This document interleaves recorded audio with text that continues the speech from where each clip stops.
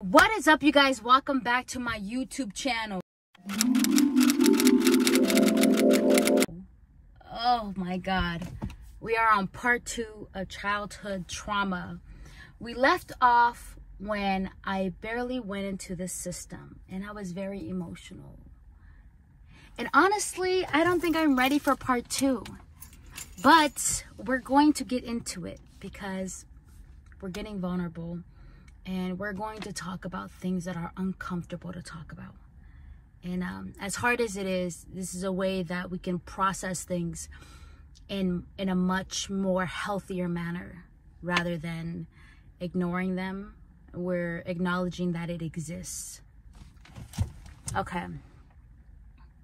Part two. Part two is when I get taken into the system um, when I first got taken into the system, now this is where my memory is like extremely like mixed around. So I don't know what first happened because like this is the moment where like my memory fogs and I forget most of what what's going on. But I do know parts and bits and pieces because my memory completely was like turn off, like completely shut off. It's like way of captivating to save itself. You know, your brain has this amazing thing about it that anytime it sees danger or feels like it's in danger, it shuts off. So in, in order to process things, it just forgets. And people who deal with a bunch of like trauma have memory issues. And that is me. Around this time, they took me to a facility it was uh, boys and girls. So I had I went to the girls and they took me to this facility. It had like an elevator or like stairs and it was like upstairs. And um, I remember only being there for a little bit because they had take me then they took me to like um I don't know if they took me to a foster home. Yeah, a foster home. One of my family members. I'll get into the family member part um, I went into this facility. The only thing I remember about this facility is that I stubbed my toe uh, on a tricycle and I had got sent to the hospital, which was across the street from the facility. And like they gave me this big teddy bear and like my toenail was like completely like off and they like numbed it with the needle or everything like that. It was really gross. It was very graphic and it hurt. I, I, I remember that vividly of what how painful that was and then I was on crutches for like two weeks and they had like wrapped my left foot up. Um now the very first foster parent I think was my aunt. My aunt had took me in and um she didn't want to take me in. She went to church all the time at the time and um she had two daughters and I just felt so alone. Like I didn't belong in this house, you know, like so different from them because they grew up with a different cultural like background, you know, the way that we're being raised. And um, I just didn't feel like I fit in. Um, I was very jealous of my cousin because she had both parents. And so I would like bully her basically and I always felt like like she always thought that she was better than me or that's how I felt at that age. And so I constantly just wanted to bully her because I felt insecure about myself. And so her stepdad I think was it her stepdad yeah her stepdad would spank me um whenever I would like you know beat up my cousin. And so eventually they just got tired of my behavioral issues. So they're like, we can't do this anymore. So they sent me away. And then I got into another person's house. She was a cousin. This house that I got sent to was very traumatizing. Um, I don't know how to explain it without being censored on YouTube, but I felt very uncomfortable in this house, if you know what I'm saying. It was a woman. Um, she would make me do things in front of her that I didn't want to do. And she would make me feel very uncomfortable. I was eight years old or seven. I think I was seven or eight. I think I was in third grade, I believe, or second grade. I'm not sure. But it was around this time where she would force me to shower in front of her. And it, I wouldn't be in the shower. I would be in a kiddie pool, like a kid's pool. And she would make me shower, like in the pool with water in it. She would make me shower in front of her without my clothes on. And I was very, like, I felt very uncomfortable. And I would tell her that I could shower by myself. Like, I didn't need her to watch me. And she said, no, she liked watching me. And it was like, and then she would like scrub me at times. I was, I was very uncomfortable. Um, it was very uncomfortable. And still to this day, I don't know, like my mom, I don't know if it's like, if I call it a, a molest thing or I don't know because it was so like, it was weird and it made me feel weird and it made me feel like, ugh, you know? So I can't really get into that a lot. But she was very mean and like, like really mean and I got taken from I don't know how but I got taken away from her house because I guess some stuff happened. I really don't remember what happened. Like my memory blocked out majority of that time while I was with her. The only thing I remember vivid was that part. I don't know if other things happened that she did. I don't remember because my brain blocked that part out of my life. That that whole existence. Only thing I remember is the school that I went to and that very that one memory and then walking to school. Those are the only three memories I remember while being with her. I don't know how long I was with her. I don't know what went on in the house because I don't remember much of it because my memory blocked it out. So I would definitely love to go through hypnosis. Um, then I got sent to another facility, a boys and girls facility, and then this is where I seen my brother. I was so excited. My there was a a boys girls facility um, a tot like a toddler facility and then infant facility. It was, and then they had like a breakfast area where they had fed the kids breakfast and lunch and stuff like that. And I saw my baby brother for the first time after not seeing him for I don't know how long we were separated. We would just see each other on visits. Um, and I just wanted to go see him all the time. I remember because like this is where my behavior problems got worse. This is where like my behavior problems started escalating and I started getting to more fights. I started picking on other girls and um, I would I would just get in fights constantly. I would yell, I would run away. This is this is where my behavior issues just got even more worse because just how bad I just wanted to go home. And um, they they definitely got me in the psych eval and they started putting me through therapy and I would just like keep secrets. I wouldn't like say everything that was going on. I would talk about like things that happened but like not get into it. And then I had went to finally finally first fo uh, foster home that I absolutely loved um, where I met my foster dad. This man meant a lot to me. He first met me and he was looking for a foster another foster kid. And uh, he's like you are the cutest of the bunch so i just decided to pick you. And i was like oh. And so i was like at mcdonald's and he took me to mcdonald's. I think yeah mcdonald's or burger king.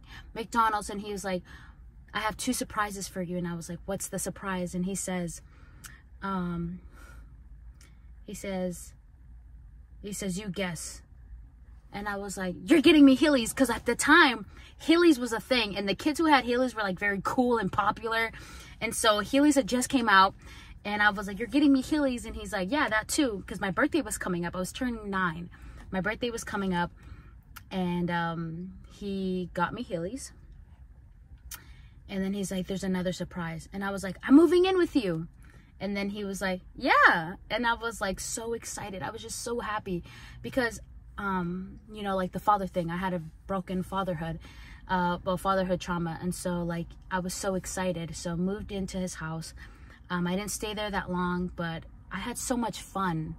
Like me and his daughter were getting a fight, but I always had the issues with the girls because I was always jealous of of what they had and I didn't have. You know, like they have a stable father, they have a family, they have a mom.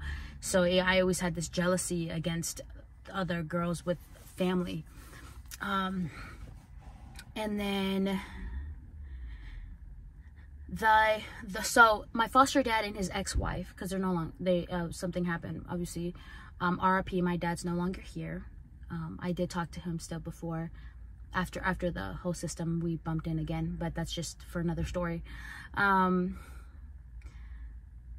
him and his ex-wife got in an argument at the time it was his wife and it was a huge argument he got locked up uh i'm not going to go into details about what happened that's just their business and so I got taken away again. Another foster home. This time I got sent to a foster home where abuse was very bad, like extremely bad. Um, I got sent to Mesa. It was a Hispanic family, and uh, the culture, you know, like it was definitely there. The things that went down on this home were things that um, you would never want your kid to go through. At the time, um, they started me on medication. I had went through, I do not know how much medication. That's what I absolutely hate about the system is that they feed these kids all types of medication, ADHD, bipolar, da da da. Like you're, the reason why these kids have these anger problems or these issues, you're taken away from their parents. You wonder why they're acting out. Like they miss their family. That's why. Most of it is like by the time I went back home and I like started like working on myself, I didn't have any of those issues. I didn't have no anger issues. I didn't have nothing. You know what I'm saying? Like I worked on myself. But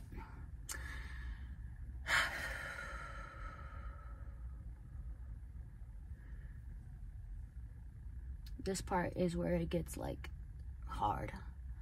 So they sent me to a one day hospital because I got kicked out of the facility because I went back to the facility. Um, and I got I got sent to another foster home, which was far away from the rest of the people that I knew. Um, it was during the winter time, I believe. I don't know how long I was there for. But I do remember that they would have allowances for their kids because they had they had a son and daughter they had their own kids, and then they also had a foster kid who had autism and who was nonverbal. This is when I when I first noticed what other kids, you know, who had nonverbal and who were autistic. Um, it was so sad the fact that I had to see what I had to see and the things that I had to experience in this home. But when I first got there, I had just a bag, you know, they would just have kids carry all their stuff in a bag and um, I had a picture of my mom that I would put under the pillow and I would kiss it every night. And so, um, this story is, is, is really hard to talk about. God, oh God, we're running out of time here. It's 13 minutes. First got home, everything seemed great. They seemed like an amazing family and I was excited. Their kids seemed great at the beginning. You know, everybody seems great and uh, they showed me the house, the laundry room. There was upstairs, downstairs. I had my own bedroom. Um, I had a big mattress to myself, my own closet. And like they were like really well off financially. So I was just like so happy. I, and they owned their own store in the middle of the desert too. And they had their own store. We would go to their store. We would count money and stuff like that. They owned stuff. And uh, they had a Hummer. I remember what kind of car they have and I remember that they had a pool in their backyard. We'll get to a story about the pool. But things that went on in this house. Am I ready to talk about this?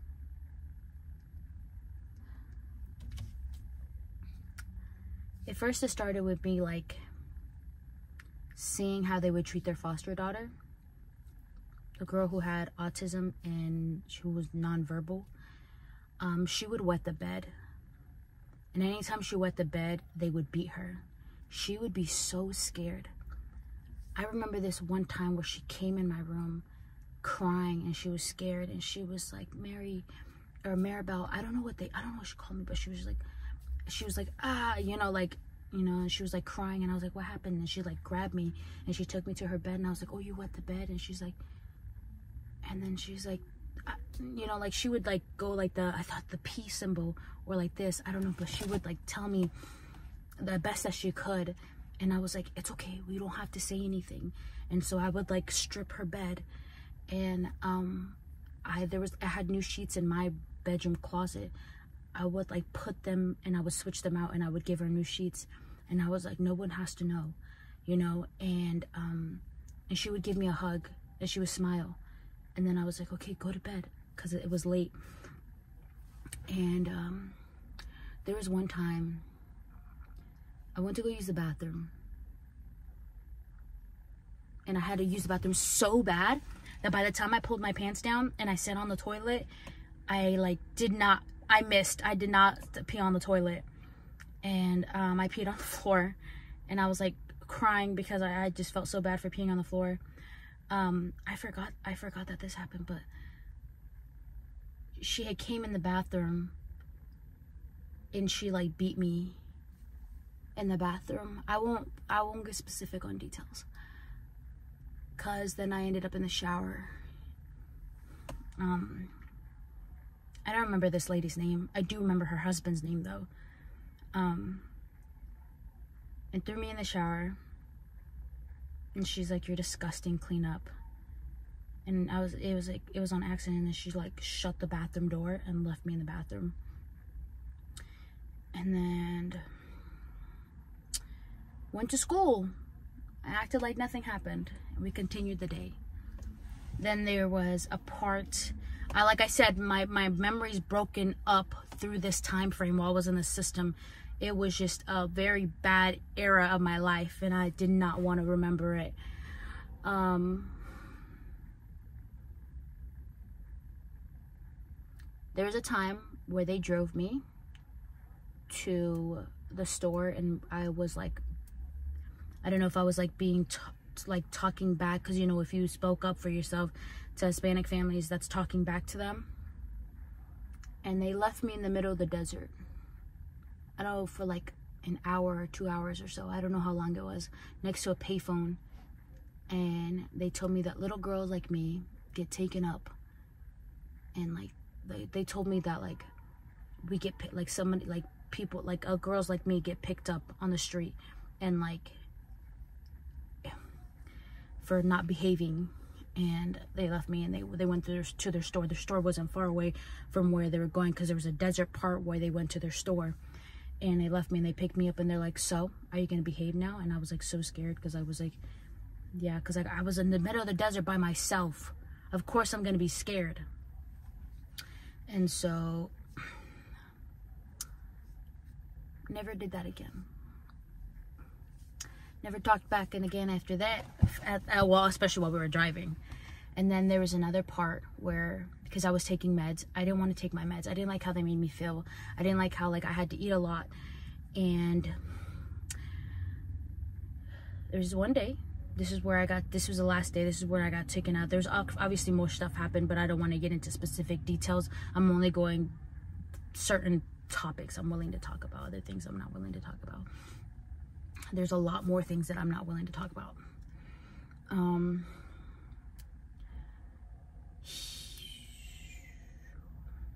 We're going, we're going, was it almost 20 minutes? Okay, no, no, we'll, we'll keep talking, we'll keep talking. okay, okay, Marmo, it's okay. Um, I didn't want to take my meds that night. I didn't want to take my meds at all. I was like, I don't want to take them. She took her key off. She unlocked the drawer. We were in the kitchen, right? And the kitchen is a sliding door where the pool's at.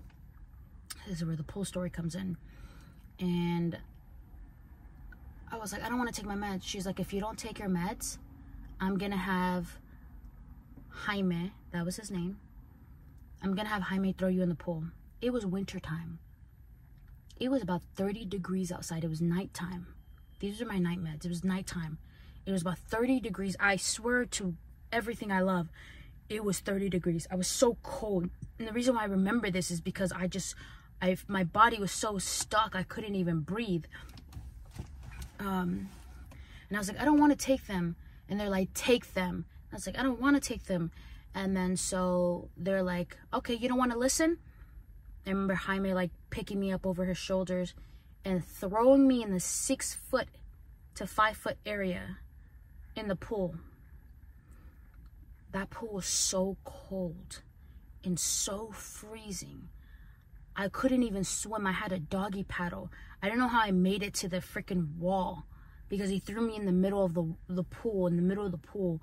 And so I was like like trying to swim. I remember I remember like shaking. I remember how cold it was and how like I couldn't even breathe. I was I I felt like stuck on air and I tried to like pull myself up and I could barely even get up and like I like laid on the floor and then they, like he picked me up and they took me in the house. And she's like, "Are you ready to listen now?" And they took my clothes off and like just stripped me naked in the kitchen. I was nine. They took my clothes off again, and I just stood there naked, and they put a towel over me. And they're like, So are you going to behave now? And I was like, Yes. There was also another time where, oh, no, this is not the time where I got taken. There was another time that I got taken, but I'll put that in part three. It's already 21 minutes. Um, part three will be the time this is this was my last foster home part three will be the time where i got taken away and how that escalated and it got really really bad and the cops got called and i got sent to a mental hospital so nine years old boom all right you guys we just went from like six or seven to nine the span of me being in the foster system i'm almost out of the foster system um yeah so we'll talk about that this time i didn't get any emotional I might cry after this. Just say. But I love y'all. Thank you so much for listening. And um, I'll see you guys in part three. Talk to you later.